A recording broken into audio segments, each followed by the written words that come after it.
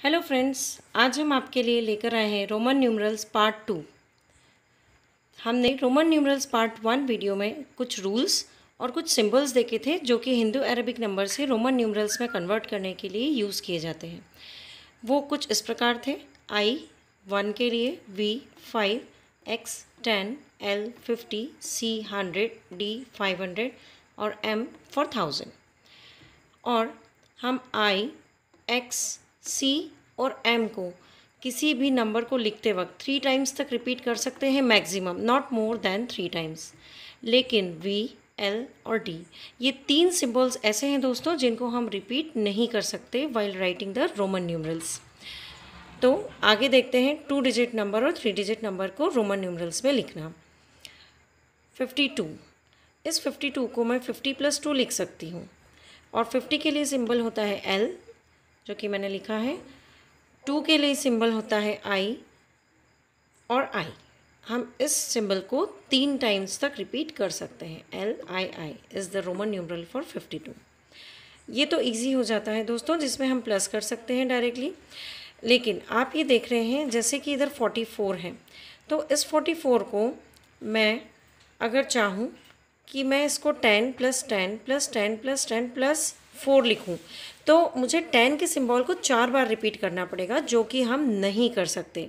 X होता है ten का सिंबल, जिसको हम मैक्सिमम थ्री टाइम्स तक किसी भी सिंबल को रोमन न्यूमरल्स में रिपीट कर सकते हैं, लेकिन थ्री टाइम्स से ज़्यादा नहीं।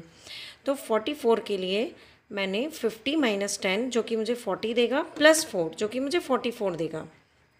इस तरह से इसे लिखा है।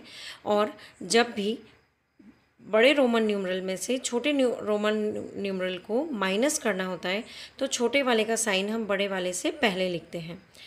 जैसे कि टेन पहले लिखा है एक्स और फिफ्टी का सिंबल है एल जो कि मैंने बाद में लिखा है।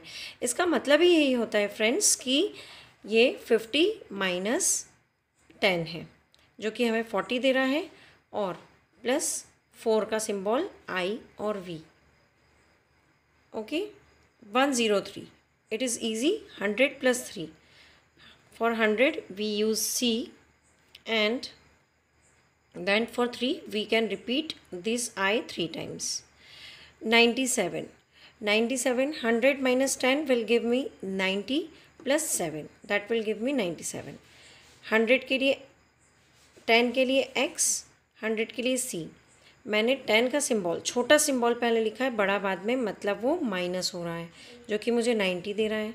और सेवन के लिए मैं लिखूँगी five plus two, five for V I I, seven.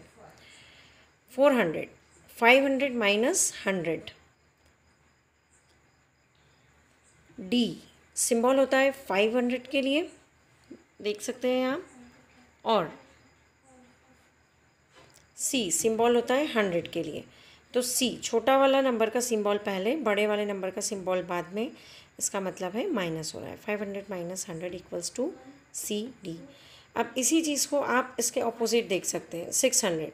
Six hundred को मैं लिखूँगी, five hundred plus hundred. Five hundred plus hundred मतलब फाइव के लिए फाइव हंड्रेड के लिए डी और हंड्रेड के लिए सी। तो ये इसका बिल्कुल जस्ट ऑपोजिट हो गया डी सी। छोटे नंबर का सिंबल पहले आता है और बड़े नंबर का सिंबल बाद में इसका मतलब वहाँ माइनस है।